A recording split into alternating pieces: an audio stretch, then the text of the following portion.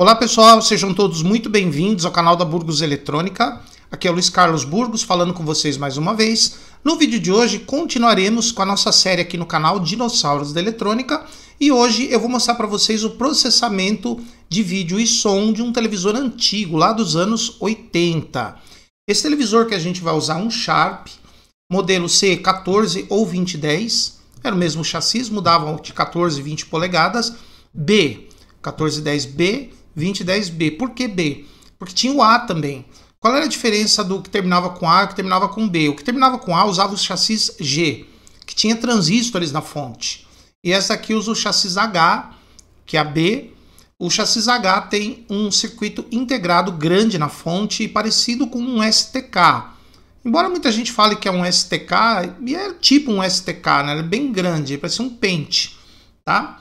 Então a gente vai ver como é que é o processamento. Vocês podem ver logo de cara que esse televisor possui CIs separados para o processamento desses sinais. Não é um CI só, como a gente está acostumado com os equipamentos modernos ou com as TVs de tubo mais novas. As últimas que saíram usavam um CI só para tudo. Essa não, essa tinha mais de um CI. Mas antes, pessoal, se você está aqui pela primeira vez no canal, seja muito bem-vindo a Burgos Eletrônica, inscreva-se no canal, ative as notificações para você ser informado dos vídeos e lives que fazemos aqui todas as sextas às 19 horas. Se você gosta do nosso conteúdo, quer e pode ajudar o canal financeiramente, torne-se membro. Clicando no botão aqui embaixo Seja Membro, você ajuda o canal e nós oferecemos vídeos, cursos, lives e promoções exclusivas para os meus queridos patrões. Tá? Aqui na descrição do vídeo, pessoal, você tem aí o, as nossas lojas virtuais e você pode adquirir os nossos cursos em combo, em pacotes, que sai mais barato, tá? E já está disponível também o curso da TV Filco Smart, tá bom?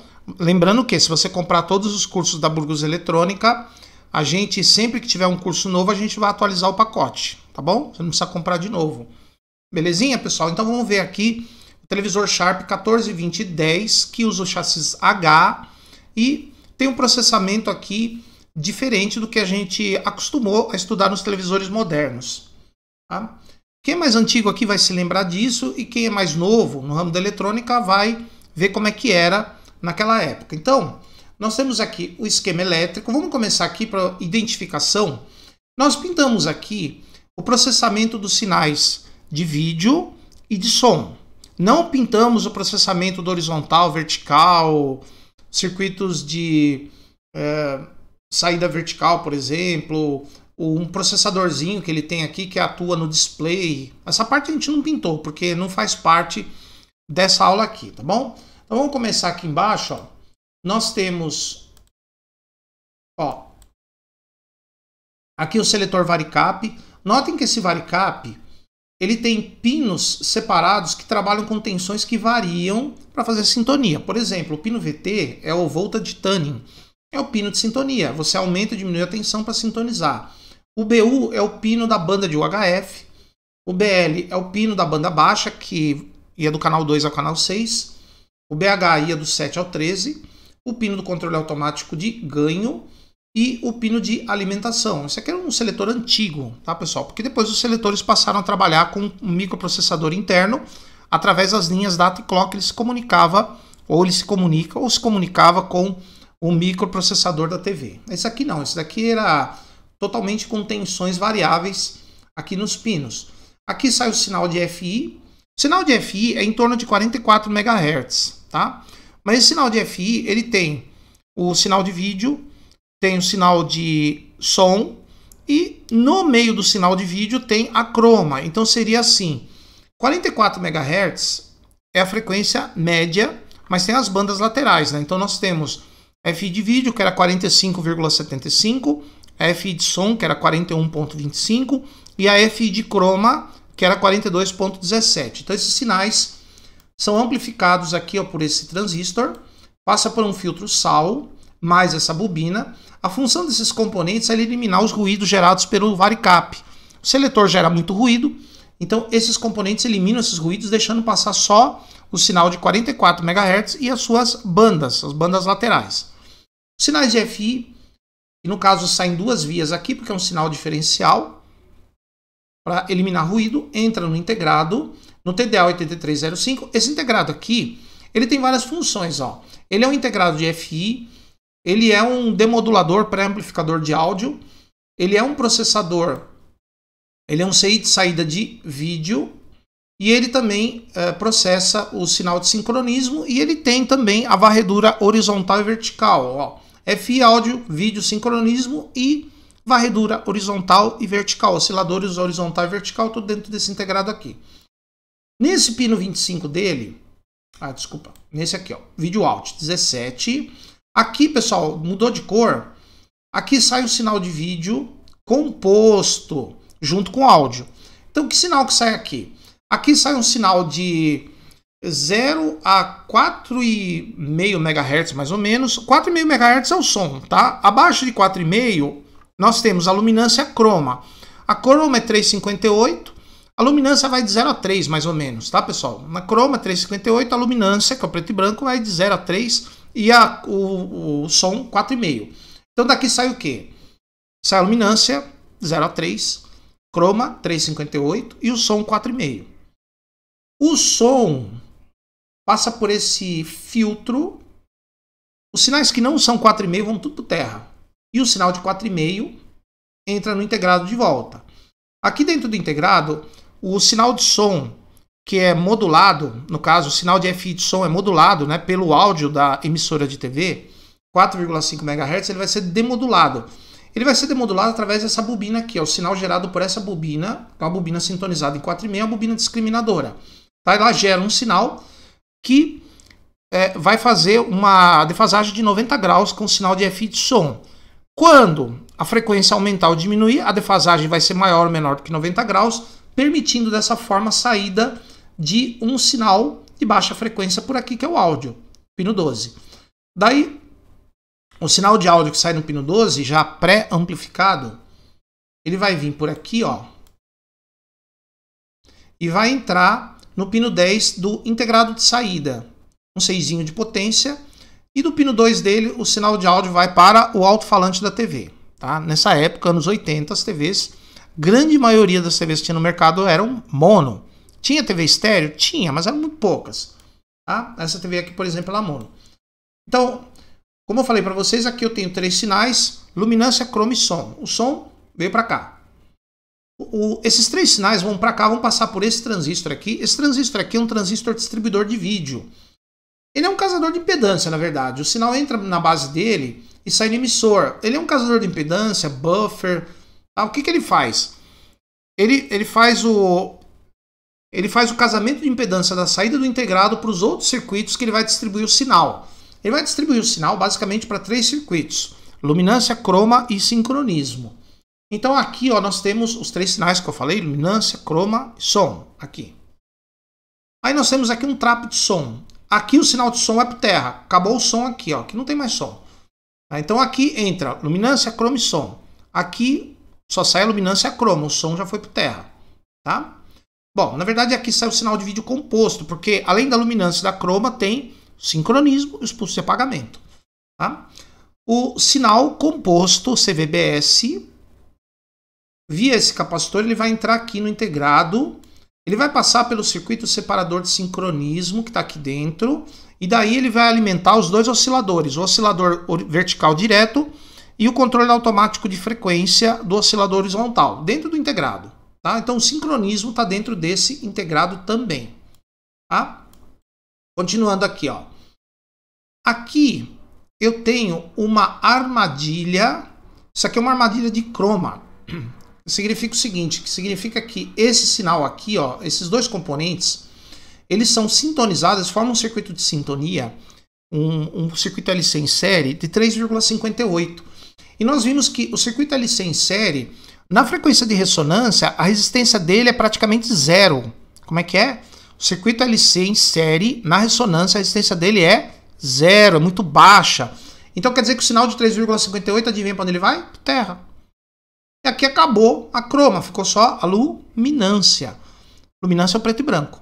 Aí o sinal de luminância passa pela linha de atraso, que é essa bobina que tem esse ferro, esse essa chapinha enrolada em volta dela, né, que tem o símbolo aqui, na verdade, essa bobina aqui, ela funciona como se fosse bobinas e capacitores em paralelo para dar uma atrasadinha no sinal de luminância para que ele consiga chegar ao tubo junto com a croma. Por quê? Porque o circuito de luminância é mais simples do que o circuito de croma, que é mais complexo. Então a tendência do sinal de luminância é chegar primeiro ao tubo. Isso, em vez de produzir um colorido dentro da imagem, vai produzir um colorido um pouquinho para fora da imagem. Tá? Então o colorido, em vez de ficar bem dentro da imagem, ele fica um pouquinho para fora. Então, para evitar que isso aconteça, a gente dá uma atrasadinha de 70 nanosegundos no sinal de luminância e introduz ele no CI. Esse circuito integrado aqui é um circuito integrado processador de vídeo, croma ou luminância e croma e RGB. Bom? Então a luminância, esse trap joga a croma no terra, passa só a luminância. Muito bem. Aí o sinal aqui, croma, luminância. Agora tem esse outro filtro aqui, LC, só que esse é paralelo. O circuito LC em paralelo, na frequência de ressonância, a resistência dele é muito alta. E nas frequências maiores do que a ressonância, o sinal passa pelo capacitor e vai ao terra. Nas menores que a ressonância, passa pela bobina e vai ao terra. Então quer dizer o seguinte, o sinal de croma é 358, esse filtro é 358. Então quer dizer que o sinal de croma não vai para o terra, ele passa. O sinal de luminância vai para o terra via bobina. Porque a resistência desse circuito fora da ressonância é baixa. Perceberam a diferença entre o LC em série e o LC em paralelo? Os dois são 358, esse aqui e esse aqui. Só que esse, como está em série, a resistência dele é zero praticamente, ou quase zero. Então o sinal vai para terra. Nesse aqui é o contrário, a resistência é alta. Então o sinal não vai para terra, ele continua. Tá? Então quem que vai para terra? A luminância. Então aqui sobrou somente a croma, que é 358. Na verdade, o sinal de croma não é exatamente 358. O sinal de croma ele vai de 0 a 1 MHz no máximo. É que o 358 é a modulação, é a modulação dele, né? Então, o azul, que é o sinal de croma modulado em 358, ele chama U. E o sinal do vermelho modulado, 358, chama-se V. O azul é U, o vermelho é V, tá? Isso com a modulação. Sem a modulação, o vermelho é R-Y e o azul é B-Y, tá, pessoal? Que é vermelho sem luminância é azul sem luminância. Belezinha? Então aqui eu tenho a croma 358, os dois sinais de croma 358. Na verdade, pessoal, o sinal de 358 ele não vai. O que vai são as bandas laterais dele, tá, pessoal? O 358 não vai, essa frequência não vai. A gente fala 358, que é a frequência central, mas ela não vai, porque ela é muito forte. Então o sinal, o, o, o valor exato 358 ele não vai, porque ele é muito forte, ele interferiria na imagem. Então, o que, que a transmissora fazia? Hoje em dia não faz mais, porque nem tem mais sinal analógico. Mas antigamente, a emissora fazia o seguinte: ela pegava os sinais de vermelho e azul, modulava eles nas bandas laterais, 358 com as bandas laterais, né? As bandas laterais 358, mais e menos, e o central não ia, tá? O central não ia. Só que tem um detalhe, para demodular esse sinal precisava 358. A emissora não mandava 358, ela mandava as bandas laterais. Então, como a televisão precisava 358, ela tinha que produzir o 358 aonde? No cristal, nesse cara aqui, ó. No cristal, no oscilador a cristal. Tá? Então a emissora não mandava o 358, ela mandava só as bandas laterais. O TV tinha que produzir o sinal central de 358. Para isso que ela usava o cristal, o oscilador a cristal. Tinha que ser preciso para conseguir demodular direito as cores, beleza? Então a croma entra aqui, o sinal de croma era amplificado e saía nesse pino 18 aqui, ó. No pino 18, aqui lembre-se, eu tenho vermelho e azul juntos. Que são as, eram as duas cores transmitidas, vermelho e azul. Elas entravam numa linha de atraso que, a princípio, era um bloquinho de vidro com algumas é, uns formatos ali. Eu já mostrei aqui no canal como é que eram esses bloquinhos, né? A linha de atraso. Era um bloquinho de vidro com algumas é, com uns losangos tá? é, impressos no próprio vidro. É, na verdade, isso aqui ele produziu um atraso de 63 é, microsegundos. 63 microsegundos é o tempo de uma varredura horizontal, né? Então o que acontece? O sinal que entrava aqui, ele demorava para sair por aqui 63 microsegundos. Então o sinal entrava, ele tinha que passar pelo zigue-zague do vidro, ou seja, ele vibrava o vidro e depois a vibração na saída do vidro virava sinal elétrico de novo. Tá? Então o sinal elétrico entrava no vidro, vibrava o vidro e saía do vidro novamente em forma de sinal elétrico. só que demorava 63 nano segundos, 63 microsegundos, que era o tempo de uma varredura horizontal. Então, qual que é a ideia? Você joga o sinal aqui, ó, vermelho e o azul. Só que no sistema PAL, que era usado aqui no Brasil, o sinal do vermelho era invertido numa linha sim e numa linha não. Então, numa linha, ele era transmitido na fase correta e na outra linha ele era defasado em 180 graus. De, na, na linha seguinte, correto, depois na outra, defasado 180 graus. Tá? Porque era uma forma que o sistema PAL tinha para corrigir as variações de cores com o sinal que podia pegar interferência no meio do caminho. Inclusive, os televisores NTSC, que são, são os do padrão americano, né? Eles tinham esse problema, porque bastava o sinal ter algum ruído, alguma coisa assim, que ele mudava de fase. Gente, eu vou dizer uma coisa para vocês: mudar a fase de qualquer um dos dois sinais, vermelho ou azul, é um desastre, muda completamente as cores. Porque todas as cores no TV a cores eram produzidos pela diferença de fase entre o azul e o vermelho. Então, se um dos sinais, o vermelho, era o mais afetado, ele, se um sinal mudasse de fase, então as cores alteravam completamente. Então, para corrigir isso, o televisor, né, o, o sistema PAL, é, Phase Line Alternative, né, que é linha de fase alternada ou alternativa. Numa linha, o sinal do vermelho ia na fase correta, na outra linha invertido e assim por diante. Então, o sinal entrava aqui tá? Então, numa linha, você tinha, por exemplo, é, o, o, azul era, era o U e o vermelho era o V, né? Então você tinha, por exemplo, U mais V. O mais V. Na outra linha, U menos V, depois o mais V, o menos V, o mais V, o menos V, o mais V e assim por diante. O U era sempre o mesmo, o azul ele não dava de fase, o que ia mudando era o vermelho. Então quando você introduzia o sinal aqui, ele demorava uma linha para sair. Só que esse mesmo sinal já era introduzido na saída. Significa que o sinal da linha passada se juntava com a linha presente. Ó, linha presente se juntava com a linha passada. O sinal que sai daqui é da linha anterior. O sinal que entra aqui é da linha que você tá. Linha anterior com a linha que você tá, tá? Então, num dos lados aqui, você tinha U mais V e U menos V. A linha passada era U mais V, a, a, a, próxima U menos V. Cancelava o V, ficava só o azul. Tá? Aqui, por exemplo, né? Aqui ficava só o azul. É, mas só que eu fiz cagada aqui, né? O azul era aqui, ó. O azul fica aqui. Aqui é o vermelho, mas eu vou consertar isso, tá, pessoal? Aqui... Pessoal, não vou editar esse vídeo, tá? Aqui é só mudar, ó. Só mudar a cor. Pronto. É só mudar. Resolvida a questão. Tá? Aqui é o azul. Ó. Por quê? Porque aqui em cima, linha anterior com a linha passada, a, com a linha presente, a linha anterior com a linha presente. Então vamos supor que a linha anterior era U mais V. A linha presente é U menos V. Cancela o V, fica só U, fica só o azul. O azul entra aqui, ó tá? E aqui é o seguinte, aqui se inverte o sinal 180 graus. O sinal que entra aqui se inverte 180 graus, tá?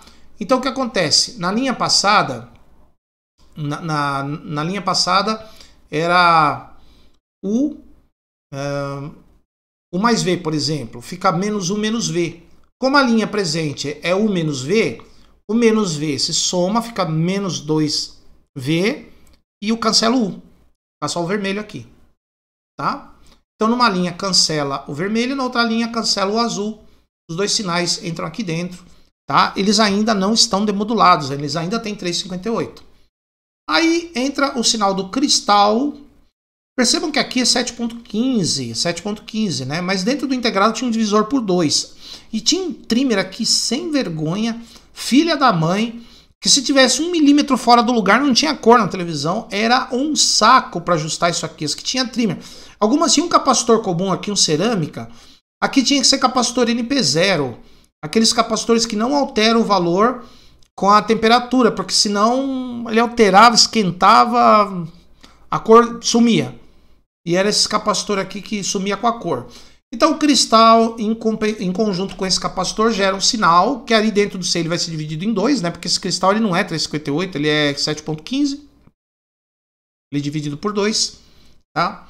Frequência dividida por 2 fica 358. O 358 recoloca as portadoras nos dois sinais. Recolocando as portadoras, elimina o sinal 358. Fica só as cores, vermelho e azul, tá? Aí o sinal do vermelho e azul passa por uma matriz, né? Primeira matriz para obter o verde. Aí nós vamos ter dentro do integrado vermelho, verde e azul sem a luminância. Então perceberam? Entra aqui os dois, as duas cores com 358, vai o 358 lá dentro, demodula, fica só as cores. As cores se juntam, uma parte de cada cor se junta para formar o verde, e aí a luminância que entrou aqui, ó, a luminância que entra aqui, se junta com as três cores e forma o RGB, tá? RGB, tá bom? Aqui nós temos algumas... Tem um detetor de fase aqui, que é um circuito, ele está dentro do integrado, que identificava em qual das linhas o sinal vermelho estava invertido e qual linha ele estava correto. Então, para isso, uh, tinha um, um circuitinho aqui dentro, né, um detetor de fase, e ele aqui fora só tinha esses componentes aqui ligado, né, mas ele está aqui dentro. Tá? Esse circuito detetor de fase, então, ele determinava qual linha o sinal do vermelho estava certo, qual linha estava invertida para funcionar direito o demodulador. Tá? Ou seja, o sinal desse detetor de fase era introduzido no demodulador, tudo já dentro do CI. E aqui saem os RGBs, vermelho, verde e azul. Esses zeros aqui são zeros de proteção. Eles vão para a placa do tubo, passam por, pelos transistores de saída RGB e daí vão buscar todos do tubo. Detalhe, pessoal, se um transistor desse entrar em curto, ele tem 100 e, de 123 a 170 volts no coletor. Se entrasse em curto aqui com a base, por exemplo, essa tensão vinha para cá e queima o Zener, para não queimar o CI. Tá? Entra em curto o Zener quando um transistor desse entrar em curto também. Eu tinha essa proteção. Ah, tinha alguns ajustes aqui, por exemplo, o controle de contraste. Ó, um potenciômetro. Ele atuava no pino 6. Lembre-se que o potenciômetro de contraste ele controla o tamanho do sinal de luminância, tá? E o controle de brilho, Controle de brilho, opa, aqui é o contraste. Cadê o brilho? Aqui, ó. controle de brilho atua no pino 9, tá? O controle de brilho, ele controla a partir de qual nível o sinal de vídeo vai excursionar. Se é de um nível mais alto, para deixar a tensão dos catodos do tubo sempre altas, ou seja, brilho reduzido, ou se o sinal vai excursionar a partir de um nível mais baixo de tensão, abaixando a tensão dos catodos e aí deixando o televisor com mais brilho, tá? Pessoal, ah, eu esqueci de falar desse trimpote aqui, ó. Esse trimpote controla quanto de sinal, qual é a intensidade do sinal que vai misturar com a linha anterior, tá? Vermelho e o vermelho e azul, quanto dele vai se misturar na linha anterior. Tem uma quantidade certa de sinal para se misturar para conseguir separar o azul do vermelho. Se, não, se, se for uma quantidade menor do que o normal, não vai haver separação. Aqui eu vou ter azul e vermelho, azul e vermelho, o que vai produzir um efeito veneziana. Você vai ver um colorido meio desbotado, mas quando você chegar perto da TV, você vai ver nitidamente linhas vermelhas e azuis. Tá? Chegar bem pertinho da TV, você vai ver essas linhas. Quando eu dava aula na escola Aladim, é, tinha uma TV lá que a gente usava para mostrar isso aí para os alunos, tá? Tinha uma TV lá que eu regulava esse trimpote aí, trazia os caras para verem na frente da tela o que era efeito veneziana. Claro que depois esse circuito todo já foi incorporado dentro do integrado, tá? Beleza, pessoal? Então é isso. Esse foi o nosso bate-papo de hoje sobre circuitos de é, luminância, vídeo, croma, som, os processamentos de sinais nesses televisores mais antigos, tá? Os televisores aí da década de 80. As TV Sharp aqui é da época da década de 80. Tinha umas coisinhas meio. Esses capacitores aqui, ó, em volta do integrado, eles podiam deixar o televisor com a cor alterada ou sem cor. Tá? Pessoal, é, como é que a gente fazia para saber se, se o televisor tivesse com a cor alterada, se era defeito na croma ou na luminância? Aliás, se era defeito na croma ou na polarização do tubo. Era muito fácil. Bastava você colocar o potenciômetro ou o controle de saturação da TV no mínimo, zerar. Se você zerar, se ela ficasse preto e branco normal, você aumenta a cor, a cor fica estranha. Você diminui a cor, ela fica preto e branco perfeita. O defeito é no circuito de croma. Aí pode ser algum desses caras por aqui. Agora, se você diminuísse a croma na saturação e continuasse uma, um colorido estranho, continuasse a predominância de uma cor, aí o defeito era na polarização do tubo. Que é a polarização do tubo? Os transistores de saída RGB, os componentes em volta aqui na placa do tubo, o próprio tubo ruim, ou então este circuito integrado aqui. Belezinha, pessoal? Aula meio compridinha, mas vocês puderam ter aí um flashback de como que eram os televisores na década de 80. Esse aqui era um deles. Tá bom, pessoal? Espero que vocês tenham gostado. Quem gosta de TV antiga, tá aí, dá um like. Se você não gosta de TV antiga, pode dar um dislike, o importante é participar. Tá bom, pessoal? Curta o nosso vídeo, compartilhe o nosso canal, mostre para mais pessoas que você gostou. Se você, gost... Eh, se você puder e quiser, ajude o canal. Nós oferecemos conteúdos exclusivos para vocês. Nos vemos aqui no próximo vídeo. Por enquanto, muito obrigado e até a nossa próxima aula.